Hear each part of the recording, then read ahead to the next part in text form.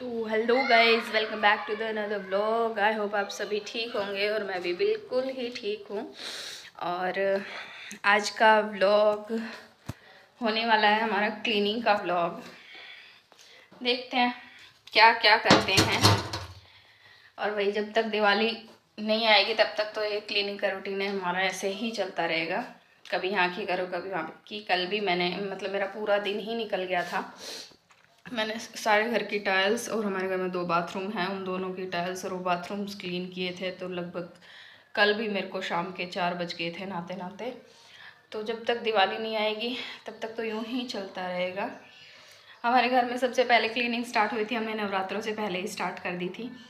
और अब सबसे लास्ट में ख़त्म होगी जब तक दिवाली नहीं आएगी, तब तक ऐसे ही चलती रहेगी।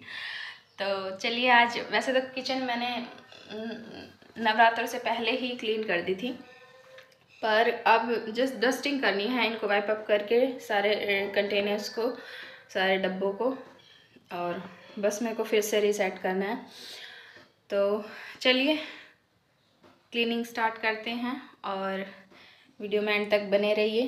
और अगर वीडियो अच्छा लगे तो लाइक एंड सब्सक्राइब करना मत भूलिए चैनल को। वैसे तो अभी मेरे को बहुत ज़्यादा कुछ आता नहीं है बट धीरे धीरे सीख रही हूँ और सीखते सीखते आई नो कि मैं अपना बेटर वर्जन क्रिएट कर लूँगी। अगर आपका सपोर्ट होगा तो तो चैनल को सब्सक्राइब और वीडियो को लाइक करना बिल्कुल भी ना भूलें।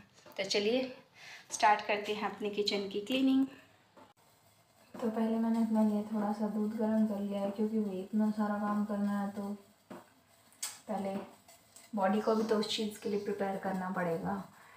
तो इसीलिए मैं अपने लिए थोड़ा सा दूध गर्म कर रही हूँ, दूध पीने के बाद फिर हम अपना क्लीनिंग का काम स्टार्ट करेंगे। तो चलिए, पहले पेट पूजा, फिर काम दूजा और बस फिर उसके बाद मैंने थोड़ा सा दूध पिया, ताकि मतलब अपने आप को थोड़ा सा एनर्जेटिक महसूस करूँ। और यहाँ पे मैं बच्चों के पास बैठ के दूध पी रही थी क्योंकि बीच बीच में इनको देखना भी बहुत इम्पोर्टेंट होता है, हो जाता है। अदरवाइज़ तो पता चलता है कि ये दोनों आपस में झगड़ा ही करते मिलते हैं हमेशा। तो बस मैंने और ये देखिए इनकी नोक झोंक अभी भी चल रही है। अनवी ड्राइंग कर रही थी तो जो अनवी करती है ना वो ही श्रेष्ठ करता है। जो उसके पास है श्रेष्ठ को सब कुछ हो चाहिए। तो देखिए पेन इसने ले रखा था मेरा। इसको ये पेन चाहिए। उसके लिए बार बार रोए जा रहा था रोए जा रहा था कि मेरे को ये पेन चाहिए। तो मैंने इसका सोल्यूशन निकाला कि दोनों में से किसी को भी नहीं दिया और ये पेन मैंने ले लिया। पेंसिल कलर नहीं है उनके अंदर। जली है इसको एक दे दे होगा इस उसमें एक। किचन की हालत कुछ ऐसी हो रखी है फ़िलहाल क्योंकि यहाँ पे हमारा बर्तनों का रैक था। जो कि अभी वॉश होने के लिए उतार दिया है। तो सारे बर्तन शेल्फ पे ही रखे हैं और समझ में नहीं आ रहा शुरू कहाँ से करूँ। सो चलिए स्टार्ट करते हैं। काम तो करने से ही होगा। और जब तक दिवाली नहीं आएगी ना, तब तक बस यूँ ही चल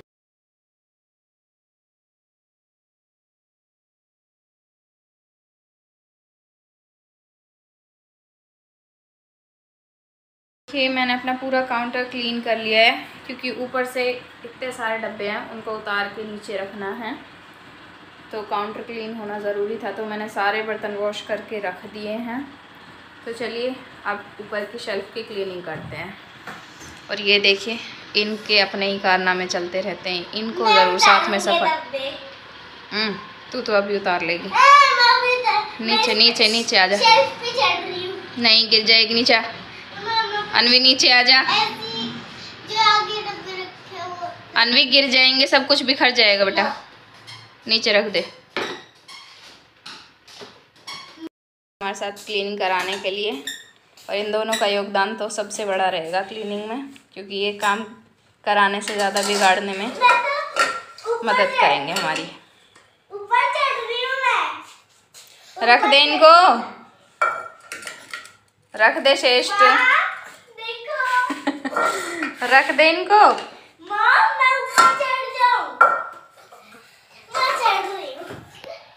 तो बस उसके बाद मैंने फिर सारे डब्बों को नीचे उतारा और ऊपर से जो शेल्फ़ थी उसको क्लीन कर दिया था। अच्छे से वैसे इतना काम था नहीं क्योंकि मैंने पहले ही क्लीन कर दी थी किचन तो हल्की फुल्की डस्ट एक्यूमुलेट हो गई थी।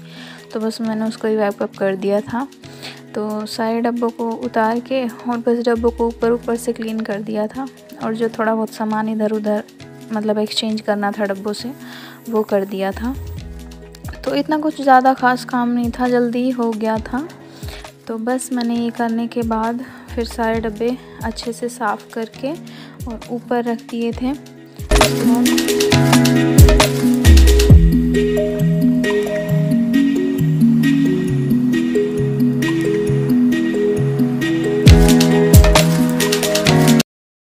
और अभी मेरे को करना है बर्तनों का रैक क्लीन।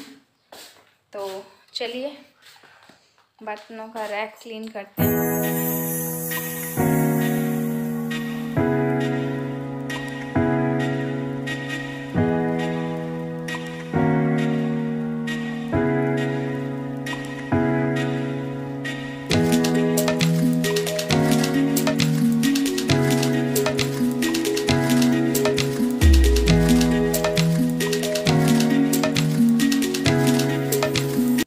बस फिर मैंने इस रैक को कपड़े से वाइप अप कर दिया था क्योंकि इसको ड्राई करना था अदरवाइज़ में रस्ट लग जाता। तो मैं यहाँ पे वही कर रही हूँ।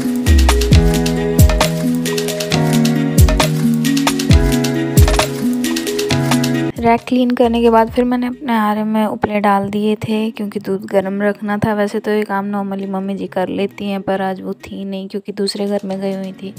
वहाँ पे भी सफ़ाई का काम करना था। तो इसलिए ये ड्यूटी आज मेरी लग गई थी। तो बस मैंने वही काम किया है और यहाँ पे देखें इन दोनों को। इनकी मस्ती ना हर जगह चलती रहेगी। मतलब खेलना भी एक जगह है और इनका झगड़ा एक सेकंड में हो जाता है। पलक झपकते ही एक मिनट में। मतलब कि खेलते भी रहेंगे और झगड़ते भी रहेंगे।